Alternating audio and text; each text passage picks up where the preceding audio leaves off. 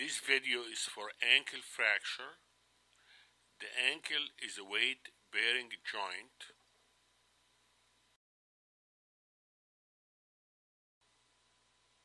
The ankle is made of the tibia, the fibula, and the talus.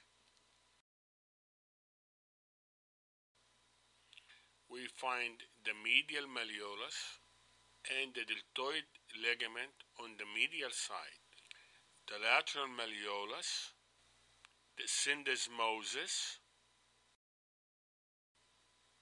and the posterior malleolus. Pattern of injury. On the medial side, you can get fracture of the medial malleolus or deltoid ligament rupture. On the lateral side, you get the fibular fracture. You can also get a syndesmotic injury. Occasionally, there is a posterior malleolar fracture.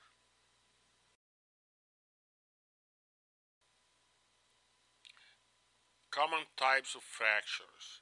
Bimalleolar fracture, you will get the medial malleolus and the fibular fracture. Trimalleolar fracture, you will get the medial malleolus, the fibular fracture, and the posterior malleolus.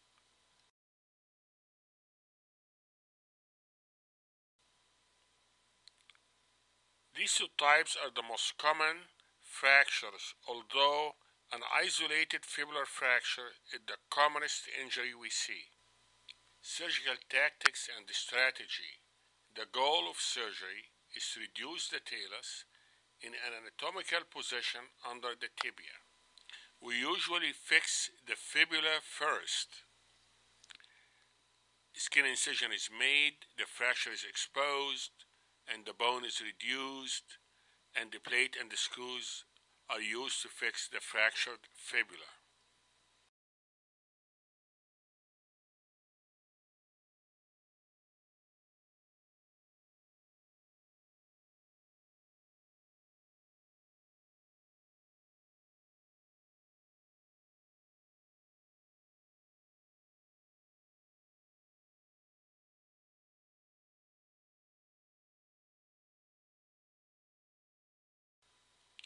Next, we go to the medial side.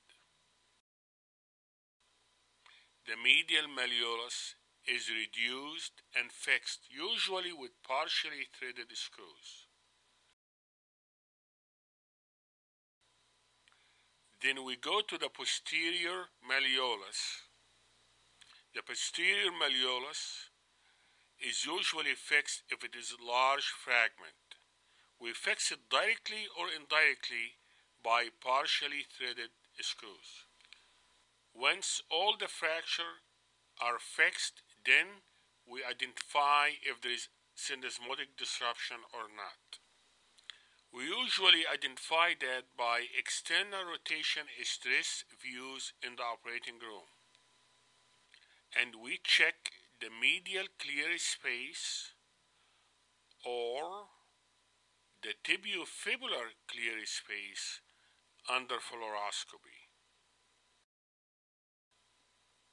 Although the stress views are the best, we always try to inspect the syndesmosis or do the bone hook technique for any excessive movement.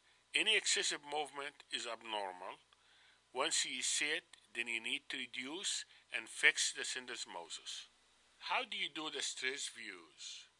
You place the ankle in neutral position, you apply external rotation stress, and you get a mortise view through fluoroscopy. Then you reduce the syndesmosis with a clamp, make sure the foot in dorsiflexion, and you fix the syndesmosis with a screw. All my videos and this video is for educational purposes only. Please consult your doctor before you make any decision about your medical care.